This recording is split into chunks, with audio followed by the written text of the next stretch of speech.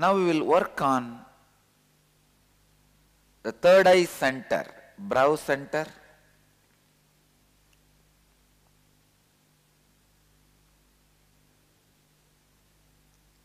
Earlier we worked on Mamakara, then Ahankara,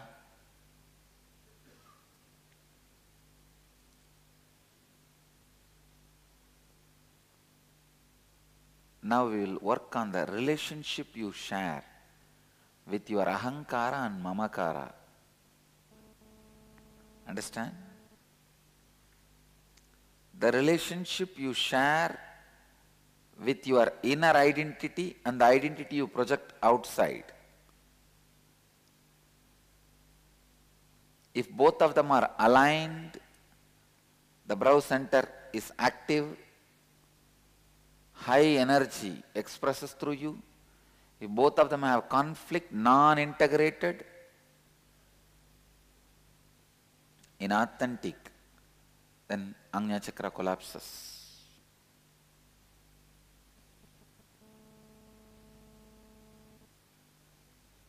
Inside you, you always project yourself lower than what you are.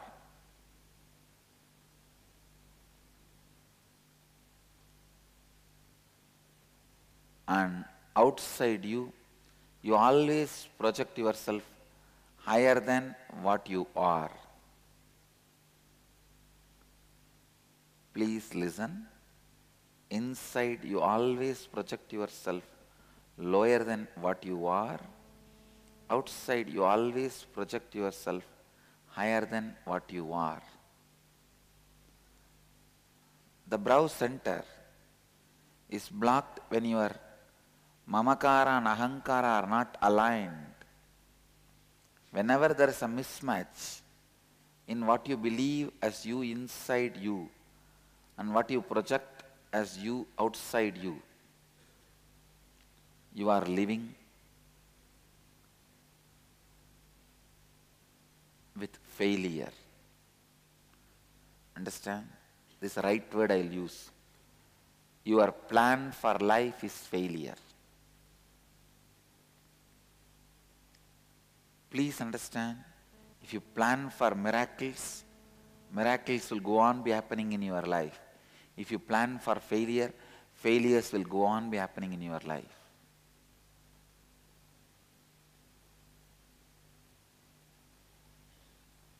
It's like a sword which is sharp on both sides, rubbing you constantly. On one side, the inauthenticity of your mamakara is pulling you down. On the other side, the inauthenticity of your ahankara is pulling, do, pulling you down. Please listen. When you don't integrate these two, your mamakara and ahankara, in both places you will be shrinking. If you align both, the first thing will happen is you don't need to remember how you need to project you. That's the biggest relief.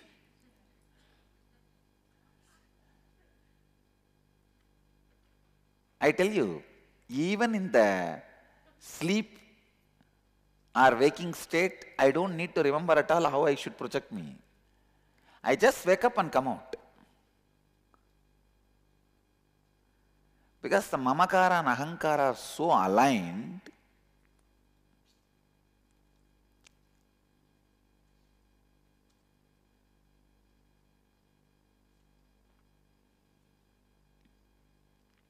I don't need to remember constantly how I should project me. That's the first freedom will happen to you. That's what I call easy going. In easy going, you don't need to remember how you need to project you.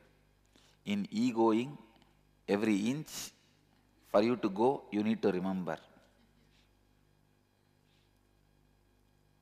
Either life is easy going or egoing.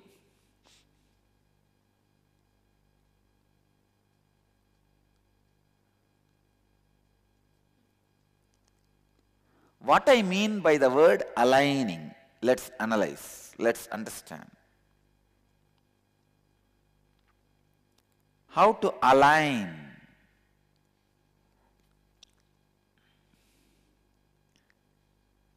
the inner identity and outer identity.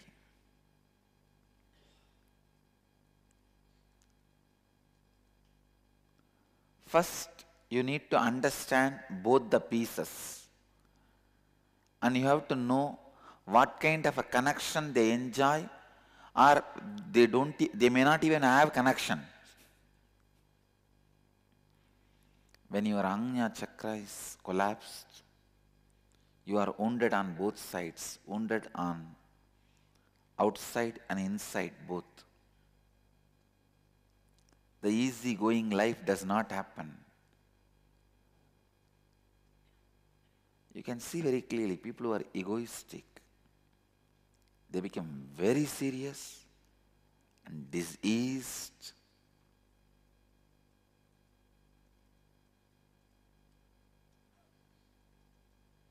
how to align them. It takes little realigning of your life for which you are afraid. That is where the problem is.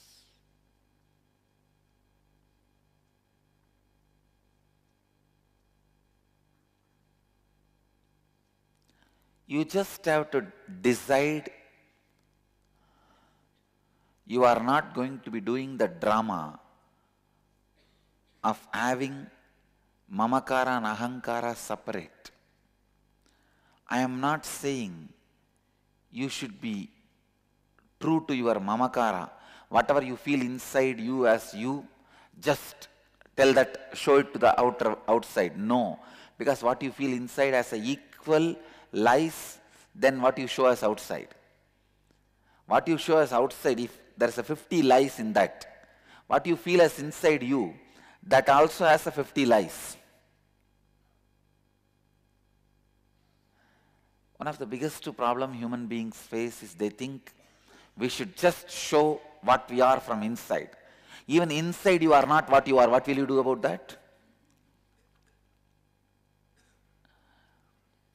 Even what you feel as you inside is not what you are. So aligning, aligning means if you want to stick two things, in both you have to put a Fevicol. So for alignment, both needs to be aligned. First thing, remove lies from both. Don't try to make your inner identity just like outer identity or outer identity just like inner identity. When I say aligning, what usually you will first try to do? Outside you show you are a courageous person. Then what you do? You try inside also let me become courageous. You tell yourself, I am courageous, I am courageous, I am courageous. That is what is positive thinking. All positive thinking is loose thinking. No, that is not going to work. And otherwise you think, all right, I, inside I am a powerless fellow, I will show the same way outside. Then you start telling, see what am I, oh, nothing works. And you bring inauspiciousness to you and anybody who sees you. Align what you feel as you inside and outside. How you know? Not by pushing the outer identity inside or not by pulling inner identity outside. No. All of you understand the mistake you usually do? I am giving you one example. Inside, you are very frightened, outside, very courageous then what you do? You try to Aligning means, oh, inside I'll tell myself, I'm courageous, I'm courageous, I'm courageous. Then when the problem comes, I'm courageous, I'm courageous, I'm courageous, I'm courageous. No, that is not aligning. That is what you do in the name of positive thinking. No, really. All known positive thinking techniques are nothing but the junk of the outer identity which is supposed to be discarded even from outer identity is being inserted forcibly into your inner identity. Like what you took out through enema is being inserted through the infection. I am giving you the very visual which you took out through enema is supposed to be removed from your house itself. But you get a glucose bottle what, and send the whole thing inside. That is what is your positive thinking. Most of the time, the lies of your outer identity, which was rejected by your inner identity, you think that chunk should be infused into your inner identity. No. Whatever is rejected in your outer identity by inner identity, that is lie. Throw it away. Whatever is rejected in your inner identity by the outer identity, that's a lie, throw it away.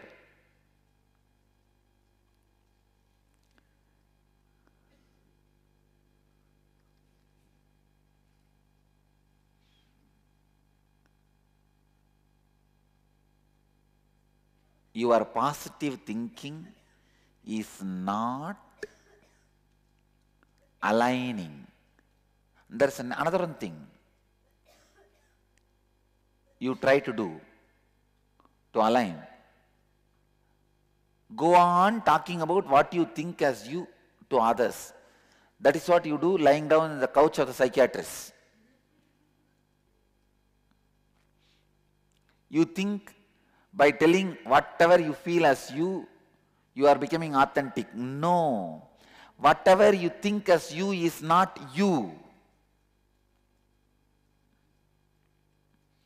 Neither by pulling the inner identity outside nor by pushing outer inside you are going to align between outer and inner identity. This is the first lesson you need to know. You need to know how alignment will not happen. Only then I can teach you how alignment can happen. This is like you try to fly by pulling your shoelaces. You decide you should fly. That's the first statement. Second thing, how to fly? If you pull yourself, you can fly. Third, what is the best way? My shoelaces come. You know where will you fall.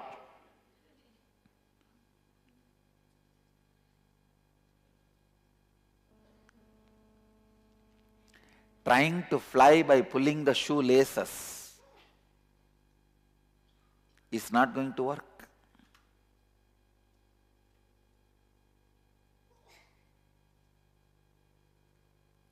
Then what is the way to align?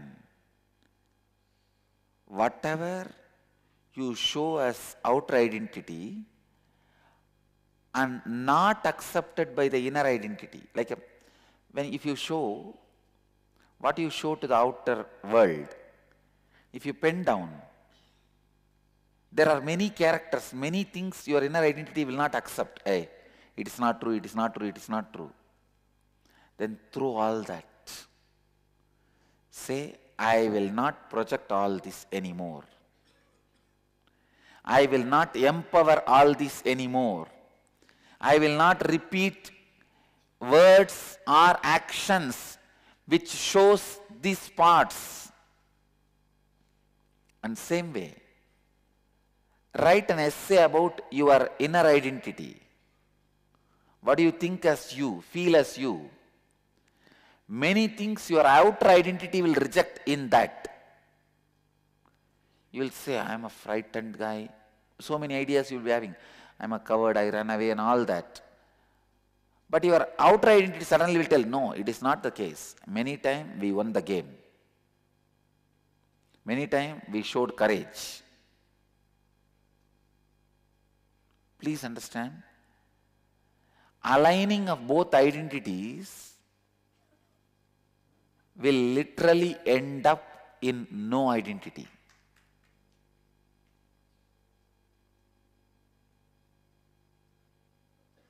Understand? Will end up in no identity. It is like Gopas. They have beaten each other and killed their whole generation, their whole civilization. Nobody outside came and killed. See, in always in the war, it is never decided who is right. It's only decided who is left. war does not decide who is right. It only decides who is left. Usually in the war, somebody comes and kills and the person who kills others, they are left alive. But the Gopas had unique war. Dwaraka, the Krishna's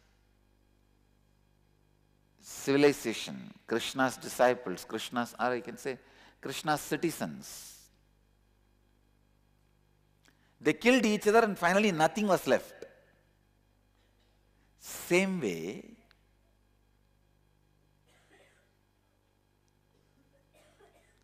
drop whatever complain your inner identity does about outer identity. Drop whatever complain your outer identity has about inner identity. This is the assignment now you need to do.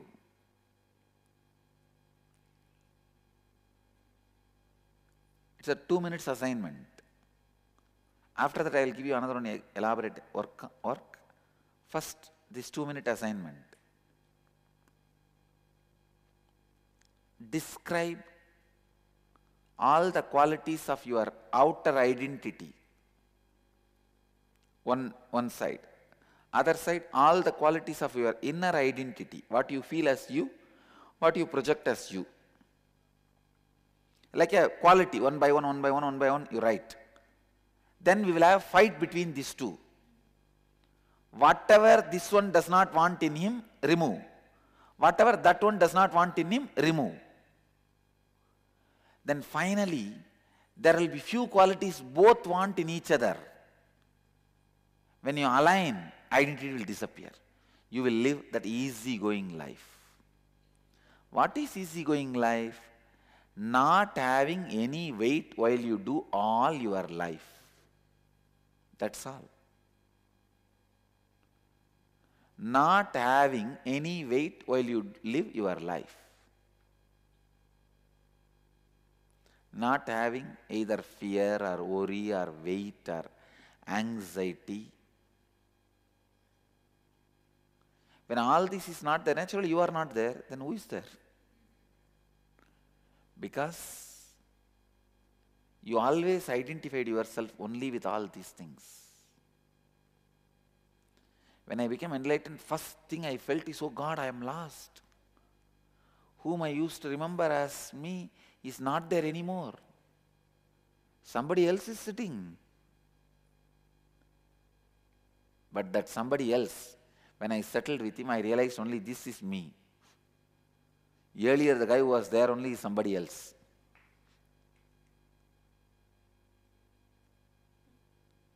Let's do this assignment. Your outer identity and inner identity. Describe like qualities. Outside, I show myself courage, yes. And I am rich. Outside, how you project, I am rich. Inside you may be feeling, no, no, no, no, I am poor. Outside you will be showing as if you are a spendthrift, you spend, you are charitable and all that. Inside you know, I am a miser, I don't touch. I don't even buy toilet paper. I bring it from the airport. Whenever I go there, I take two roll and keep it in hand. now whatever you have written, can you cancel the qualities which the other part is affecting?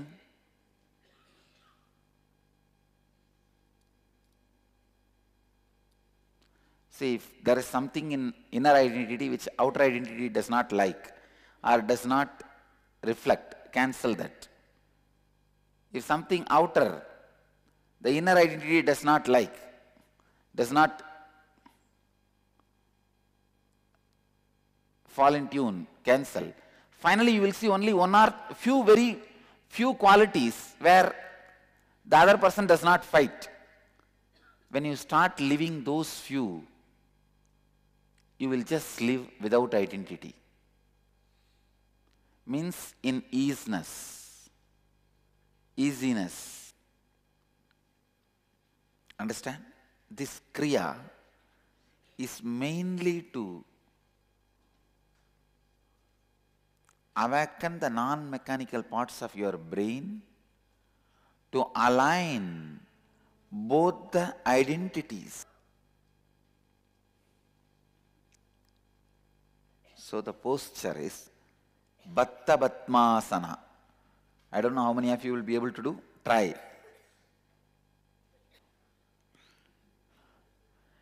If you can't do, at least sit in Batmasana and put the hands behind. See, basically, when you move your body to that posture, your nervous system gets aligned so that when I awaken the Kundalini, it floods through the, that particular channel. Without using your hands, now you have to control your breathing by the will. It's actually a process to raise the power of your will. The will power is required to align the inner and outer identity. Ready? Inhale through left and exhale through right. No. You are going to do it and you can do it. You can. It is basically, that is why your hands are locked. Understand? See, the process is expected to teach you willpower. You can train willpower through the breath, the controlling of the breath.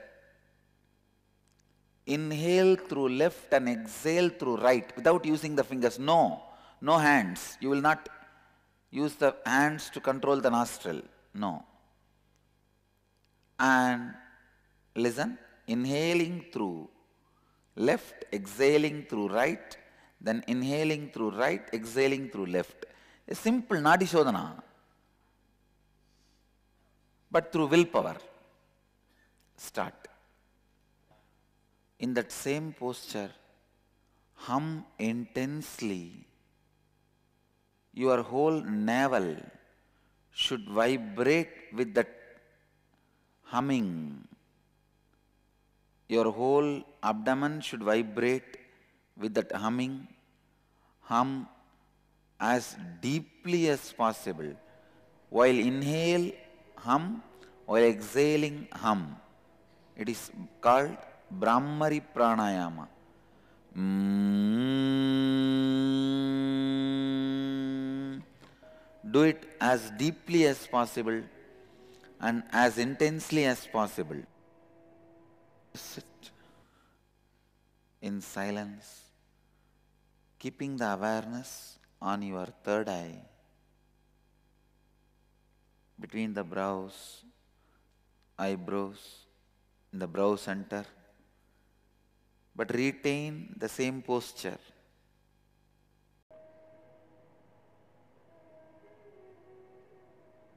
Bring only your awareness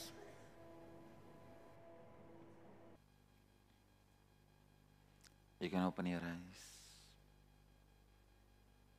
So now, let's gather for next session. Thank you.